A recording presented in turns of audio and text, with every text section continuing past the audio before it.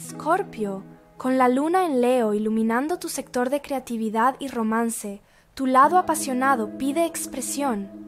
Abrace esta energía audaz y teatral al entregarse a actividades que despierten sus deseos más profundos, ya sea un proyecto creativo o una aventura romántica. Hoy se trata de atreverse a mostrar tu verdadero yo, sin las máscaras que usas a menudo.